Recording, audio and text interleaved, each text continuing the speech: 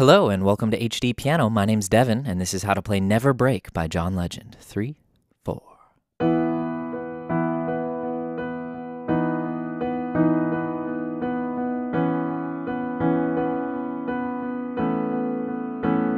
To the verse.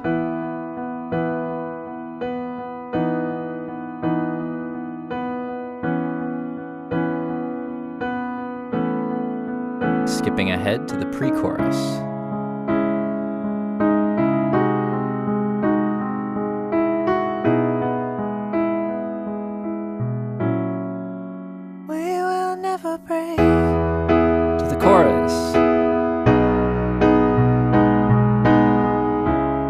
To stop there. We're going to be focusing in this video on just that intro, verse, and pre chorus. But of course, over at hdpiano.com, we'll be learning the rest of the song from top to bottom. So if you're not there already, I hope you can join me there after this. Okay, well, I was listening to John Legend's latest record and I was getting a little worried because I was not hearing much piano. Don't abandon us, John. But then finally, that last track, he really came through with this one Never Break, the ultimate anthem. Super fun, super powerful piano part, and I'm excited to get right to it. So, first things first, I want to just give you a lay of the land. Um, it might look a little complex, you know, my hands like crossing over, got my thumbs all doing this little thumb war here. At its core, very simple pop piano approach and I just want you to kind of have a nice clear visual for what's going on. We're in the key of E, and our first chord is E5, just root, fifth, and root. And then we have E major 7, so that's that D sharp. So that top note moves down to D sharp.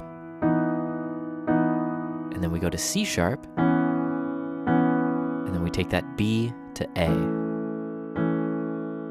So that's the core harmonic skeleton. So you could you could get away with just playing that for the whole intro and verse, uh, outro, all the verses and stuff, um, right? So it, you know it doesn't have to be as complex as it might look. Anyways, that's what's going on at the core. That's what we call a line cliche. When you kind of isolate a note in a set of chords and you create like an interior melody. We see it in the pre-chorus too.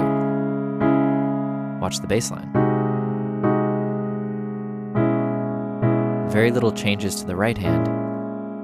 It's that bass line that's really defining it. So it's that line cliche. So, what's going on in the right hand when we put it all together? I'll slow it down.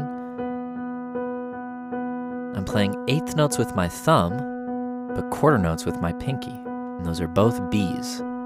So, thumb is an ostinato on B, meaning just a repeated note and the pinky is just one, two, three, four. Now I want you to try going between that rhythm and this rhythm. One and two and three and four. One and two and three and four. That's the first little quiz here, going between one, two, three, four, and one and two and three and four. We're going to see a lot of both of those rhythms in the right hand. So you want to be able to transition fluidly between what I'll call the quarter note ostinato and the pop clave with the ostinato. That's that rhythm. One and two and three, four. Call that the pop clave. So the left hand covers up the right hand here. We've got E and E, and we're going to play that pop clave in the left, just the first two notes, while the right hand plays quarter notes. So one and two and three, four. Again, here we go. And one and two and three, four. Now take it down to D sharp. Same thing. And one, two, and three, four. Down to C sharp. Now in this measure, the hands hit together. So the right hand switches to pop clave. So that's the intro. And it's really cool. And the way it sounds on the recording, it's like, you're almost like, whoa, are there like four hands playing that part? I'm pretty sure it's just this. So.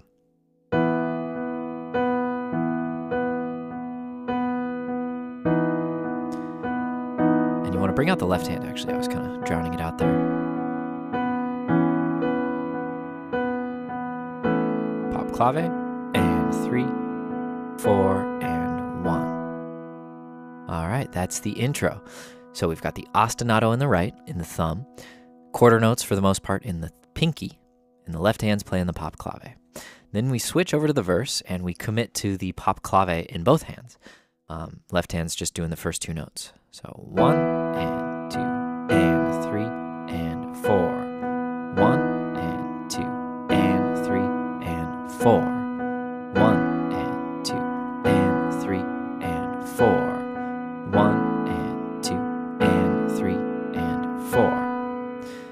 So the left hand's playing two notes, walking down with the thumb, and then in the final measure, adding the A. And we combine that with the right hand, and we get this lovely part. We're going to repeat that one more time. To D sharp. To C sharp. To A. sharp, D sharp. Boom. And we land at the pre chorus on a C sharp minor chord. Okay, so at this point, we've only seen this E in the left. It's been a very like steady harmonic bed. And then pre chorus launches us into our first kind of new chord with a new bass line. So C sharp in the left, G sharp, C sharp, and E in the right. And there's one other term I want to make sure you're familiar with. Um, it's gonna it's gonna start coming in a little more in the second video, but arpeggio um, and inversion. So basically, with a chord like this, C sharp minor, G sharp, C sharp, E, we're gonna see a lot of throughout this song where we hit a chord and then we just kind of move around within the notes. So. And it can be in any order. And so that's called arpeggiating within the chord. Um, and we're also going to see inversions. And an inversion, real quick, is just where you take the bottom note up an octave, or take the top note down an octave. Right? Same three notes, same set of notes, just in a different order. If you want to learn more about key of E major, C sharp minor, and inversions and chords and all that, you can check out hdpiano.com slash KSE for key signature essentials. Goes over all this stuff in detail. But just know that I will be dropping those terms a lot throughout this lesson. So the pre-chorus.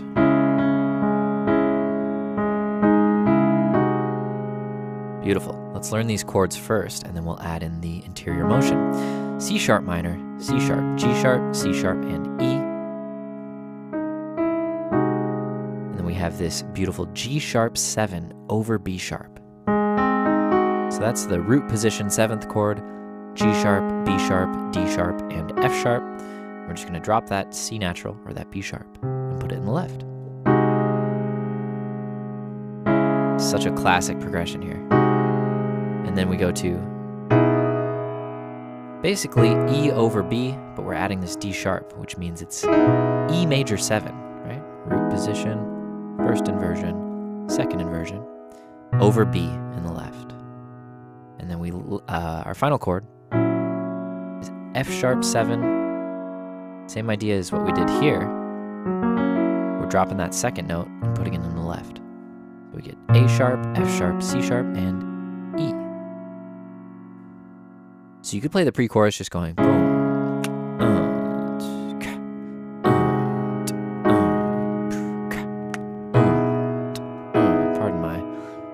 Terrible beatboxing. Not sure it even qualifies as beatboxing. Anyways, um, that's the simple approach. And the next step would be to add that interior motion. So arpeggiating down, and then up to D sharp, E, and then to the chord. And there we are playing the chord, and then pointer, thumb, chord, pointer, thumb, E, F sharp, chord. And here you could you could just improvise something like that, just based on where your hand is. But I believe what John Legend actually plays is one and two and three and four and one. So he kind of adjusts his position. Chord and then B, G sharp,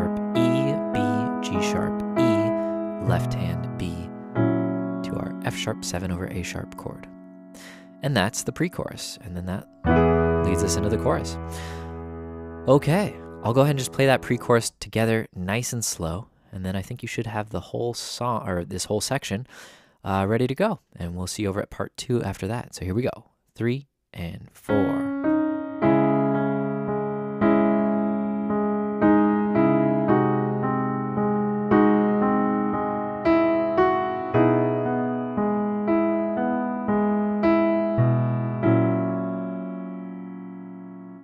All right, great job making it this far. If you're already at hdpiano.com, go ahead and click on part two to continue learning.